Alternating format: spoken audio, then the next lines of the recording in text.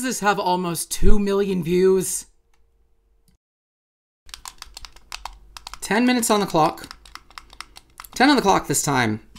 And this isn't going to be one of those, like, what's wrong with you kind of conversations. This is going to be probably more in the, like, maybe y'all don't know what you don't know, just because the world of bulk printing is kind of nutty, um, and I want to share a little bit of insight. The reason for that, let's provide some quick context, is that the Outsiders release for Flesh and Blood has a bit of a Godbox problem in the Belgium printing, and some people are saying like maybe this was intentional, and the fact that it's not the Japanese version is pretty clear that it's not intentional. So mm, let's talk about possible areas of the breakdown because there's a lot of people saying there's an issue with the production process and you can get a little bit deeper than that because that's the difference between this is something that can have an answer and can have some sort of, you know, process to make it better that I would hope to see from LSS, or oops, all regicides. That was actually also something that could be QA. But it's not a matter of I pushed a button and bad things happened. Um, now, the reason I'm bringing this part up uh, is because I got this stupid thing. It's funny how many times I'm able to bring this up for weird reasons. I graduated with a graphic design degree in 2006, and if you graduated with a bachelor's in graphic design in pretty much pre 2010, chances are you had to take production classes. But they weren't called production classes, were they, everybody? They were called pre production and post production, also known as pre press and post press. Let's talk about the difference between the three. And then I'm going to share kind of where this issue could lie and why it's important to kind of know that um, because it does provide opportunities to move forward. So here we go. Pre press, real quick. Pre press is setting up of files and and making sure like everything is good from a color correction, you know, color perspective, and like you have crop marks in the right place and, and all of that. It's also figuring out like, you know, when you have a big when you have a big um, you know project, you're not printing card by card by card. You print a big sheet and they come in either like 10 by 10, so you get 100 cards in a sheet, or the most common one is 11 by 10, so you got 110 cards in a sheet. And if you're wondering where the heck that comes from, it comes from these guys, the the, the bicycle decks, because normally a, a pack of these things is, you know, about 50, 54 cards, 52 deck and two jokers. Um, so you get two decks on a sheet. There you go. That's your 110. Um, huzzah. Anyway, so that's making sure like the sheets are good, figuring out how many sheets you're to have. So that way, when you do the collation process, they're all very random. You can't really map them, stuff like that. And then, you know, getting them over to the printer itself. And then they take over, and that's called the production process. That's the actual printing and, and, and going through like the drums and the rollers and the finishes and getting the cards to, getting the pages, the sheets to card form, cutting corners, things like that. Not like cutting corners, but cutting, you know what I mean? Anyway, post production. That's the collation process. So, whew, sorry, sorry. It's a lot of breath real fast. I'm trying to say a lot in a short amount of time. but anyway.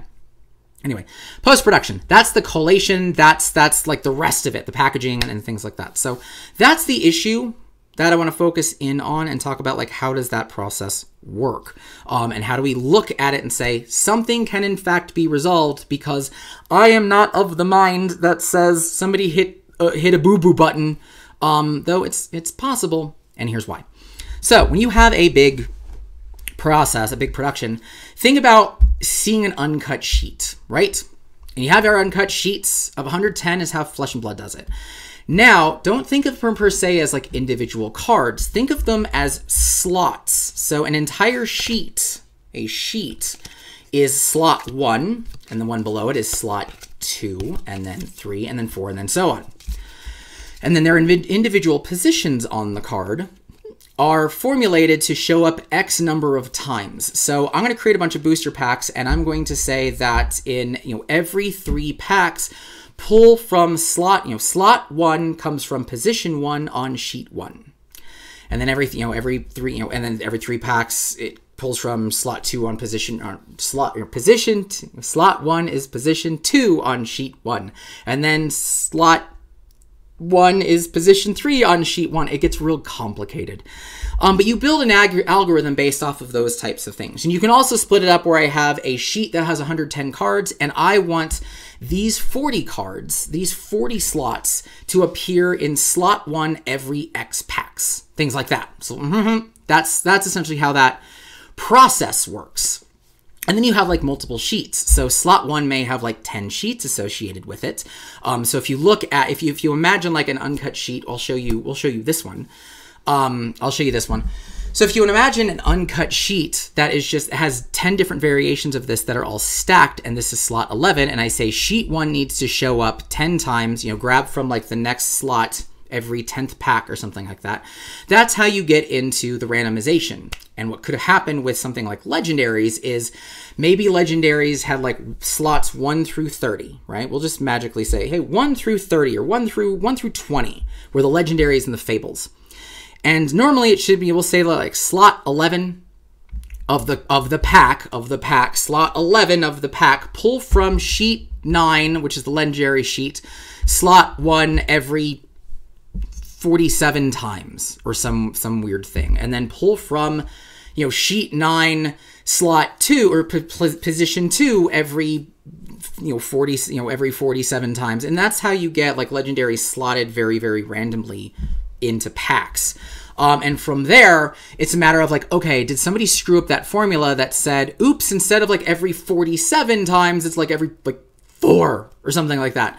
Or you know pull from sheet you know, pull from sheet nine instead of you know maybe like the numbers got reversed of instead of pull once every 47 times it's every 47 times pull once. Um stuff like that that's like that it could just be a number of it could be a reversal in how many times do you access this sheet and then how many times do you print those cards? I feel it was kind of a reversal of like hey every 47 boxes you were supposed to pick one of these things but instead you you you picked slot one you you, you picked it once like you went through like every 47 times. It's, it's a like whatever I'm going to editing Joe this one real quick. I'm not even going to worry about the microphone. Uh, I want to expand on that concept just because I know there's kind of a two little kind of quick counters to it. Counters in, in concept is that one, some cases did have legendaries like they did.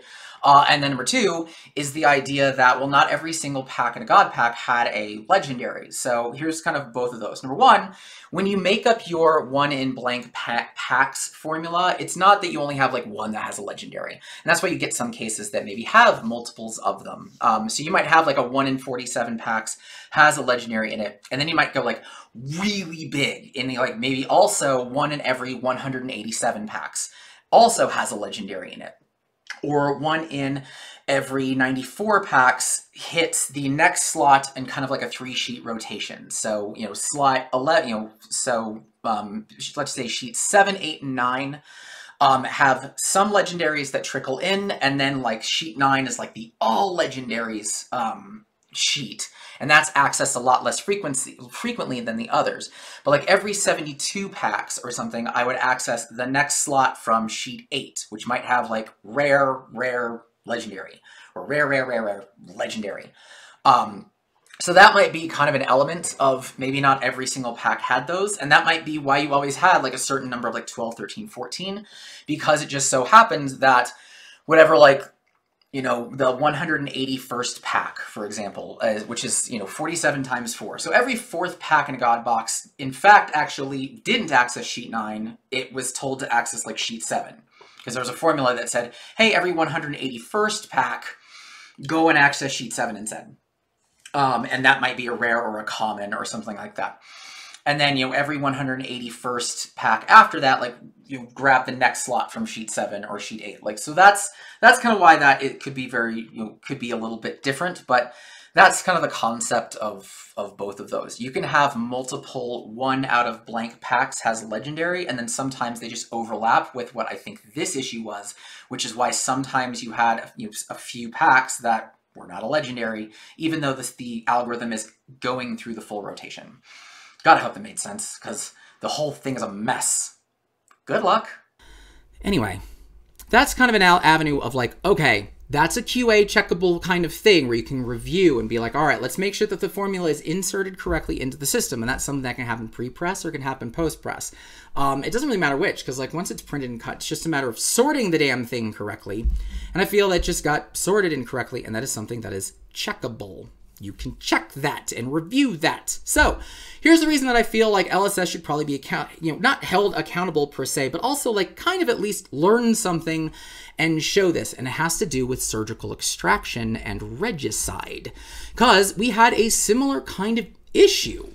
During the production process for Dynasty, an issue occurred where the card number file resulted in surgical extraction and regicide switching places in the file. Now, this is different than switching places maybe in the collation order, because mm, chances are this was like the way that usually works is you can you can kind of make a you know, procedurally create your file. So it's not like I'm taking my card file and then I'm like positioning it InDesign. I can actually have a process that says, you know, here's the card number and then here's a formula to position it on the sheet so that way I don't have to like manually make like 90 sheets of 110 cards a piece. That's a pain in the ass. So I can procedurally do it.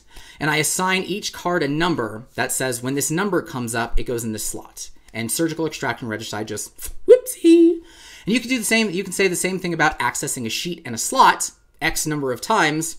You swap those, and that would explain why instead of having 15 legendary split amongst like 40 cases, you have 40, you have 15, you, you have like them all put into one. Instead, every like 40 times. Oopsie. It's a number switch, right?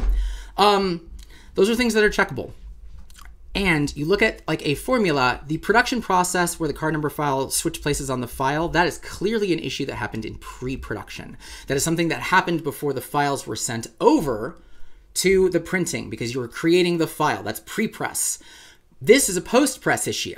So this is not a trending, I wouldn't call this a trending issue. And that's something really important to look back on. Is you look at the issues for for fab like printing issues, the you know crew had like scuff marks out the ass. That's a production issue. That's in the production stage, right?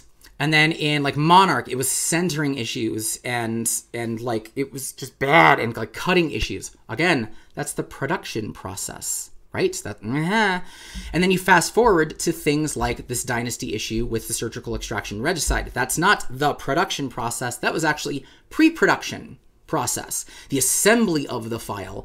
And in this case, the collation aspect of it, this is something that happened in the post production process. So, because it's just the formula got screwed up, and that is something that happened, that is something that affected the post production. So, the reason I, you know, I just, I wanted to like share all of that with y'all. Of there are three phases, and I hope that when LSS kind of comes forward and says, hey, here's kind of what we discovered. I would hope to see some sort of element of this is how we're going to proceed going forward in the production process to ensure that these kinds of things don't happen.